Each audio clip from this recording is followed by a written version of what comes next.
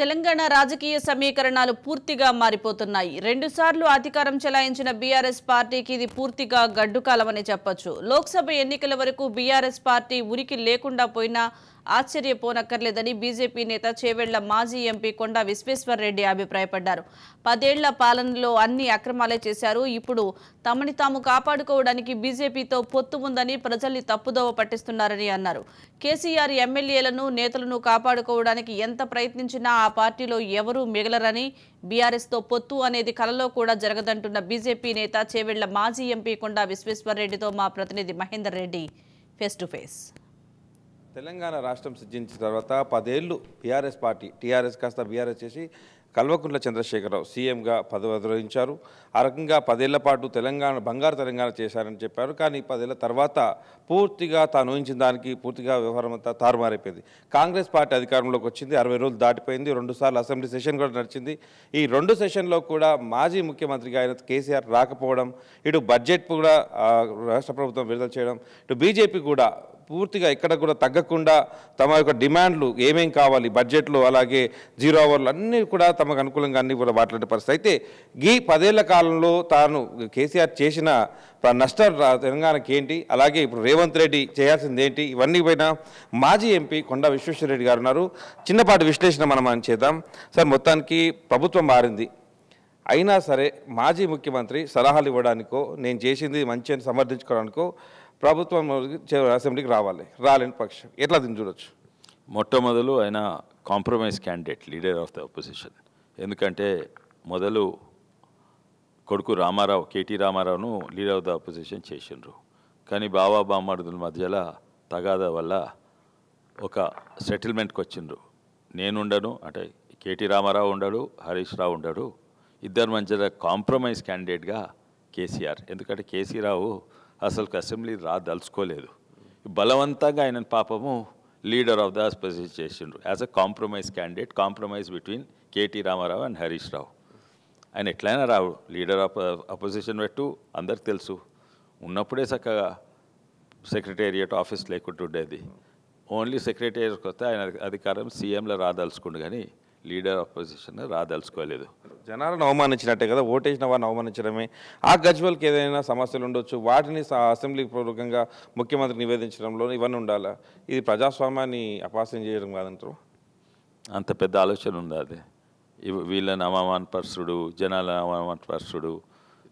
అప్పుడు కూడా లేకుండే ఆ సాంప్రదాయం ఆయనకు లేదు ఆ సంస్ సంస్కృతి ఆయనకు లేదు. ఎప్పుడు చేసినట్టే అట్లే ఉన్నాడు. ఆయనకు అసెంబ్లీ రాడు రాడు రాడు. సో ఒక్కొక్కరుగా పార్టీ కూడా విడిపోతున్న పరిస్థితి. ఒక్కొక్క జిల్లా పరంగా ఒక్కొక్కరు వస్తూనే ఉన్నారు. ఇటు బీజేపీ క్యూ క్యూ లైన్లు కడుతున్నారు. ఇప్పటికే బీజేపీలో కూడా గతంలో ఉన్నటువంటి టీఆర్ఎస్ ఎమ్మెల్యేలు గెలిచిన వారు మాజీలు తాజాలు కూడా బీజేపీ వైపే మొగ్గు చూపుతున్న తెలుస్తుంది. ఎలా ఉండబోతుంది సార్ భవిష్యత్తులో లోక్సభ ఎన్నికల వరకు?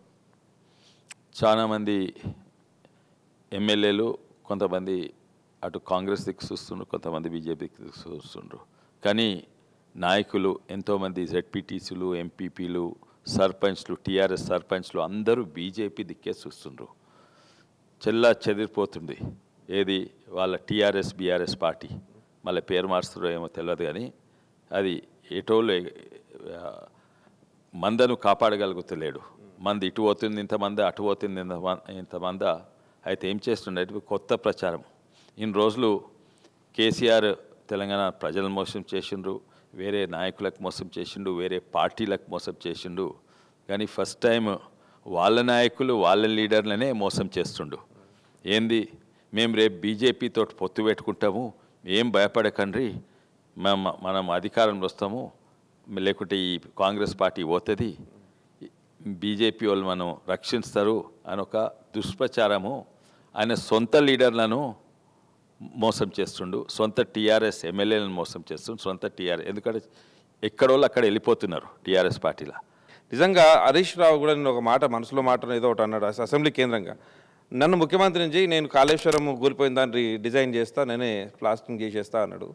దీన్ని ఎట్లా చూడవచ్చు సార్? ఆయన మనసులో మాట బయట పెట్టినట్ట మీరు అన్నట్టు మంద విషయం?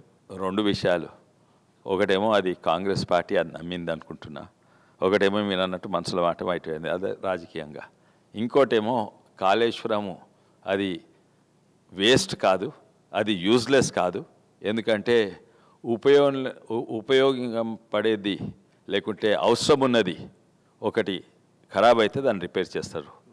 అది దేనికి అవసరం లేనిది దేనికి పనికిరాంది వాటిని రిపేర్ చేస్తే ఎవరికి లాభం?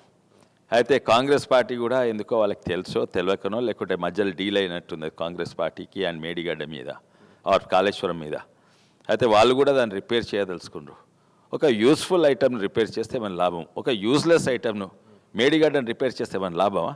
అది ఎట్లయినా యూజ్లెస్ అంటే కాంగ్రెస్ పార్టీ దాన్ని రిపేర్ చేయడంలా వాళ్ళు ఏం చెప్తుందంటే లేకుంటే హరీష్ రావు గారు దాన్ని రిపేర్ చేయట్లా పబ్లిక్ ఏం మెసేజ్ ఉందంటే ఇది చాలా ఉపయోగం అవుతుంది ఇది చాలా అవసరము దీంతో తెలంగాణకు లాభం అవుతుంది మేడిగడ్డతోటి అరే రెండు పర్రెలు పట్టినాయి దాన్ని రిపేర్ చేస్తే మంచిగా లాభం అవుతుంది అని దుష్ప్రచారం అనట. దాన్ని రిపేర్ చేయి దాన్ని స్టీల్ తోటి కట్టు దాన్ని బంగారంతో కట్టు. అది ఎంత మంచి కట్టినా కూడా అది యూస్లెస్ ప్రాజెక్ట్ ఎందుకంటే ఎన్నో కారణాలు ఉన్నాయి. అది పని చేస్తే ఇంకా నష్టం తెలంగాణకు. పని చేయకుంటేనే లాభం. ఎందుకంటే దాంతో కరెంటు వేస్ట్ దాని వానకాలంలో పనిచేస్తుంది. ఎప్పుడు కావాలి ఇరిగేషన్ ప్రాజెక్ట్స్. ఎండాకాలంలో పనిచేసే ఇరిగేషన్ ప్రాజెక్ట్ కావాలి. ఈ మొత్తం కాళేశ్వరము వానకాలంలో పనిచేసే ఇరిగేషన్ ప్రాజెక్ట్. కొంత తొందరలోనే పూర్తిగా వాతావరణం రాజకీయ వాతావరణం అయితే మారే అవకాశం ఖచ్చితంగా కనిపిస్తుంది. బీఆర్ఎస్ ఉనికి మాత్రం తెలంగాణలో ప్రశ్నార్థకం అని కూడా కొండ విశ్వేశ్వర గారు చెప్తున్న విషయం. అలాగే రాజకీయ విశ్లేషకులు కూడా అదే చెప్తున్న విషయం. చూడాలి మరి. ఎంపీ ఎలక్షన్స్ లోక్సభ ఎన్నికల తర్వాత పరిస్థితులు ఎలా ఉండబోతాయి తెలంగాణ రాష్ట్ర వ్యాప్తంగా? ఇది ఓవరాల్గా కాంగ్రెస్ పార్టీ అరవై రోజుల అబ్జర్వేషన్ పరిస్థితి. కెమెరా పర్సన్ భరత్తో మహేందర్ రెడ్డి రాజు హైదరాబాద్.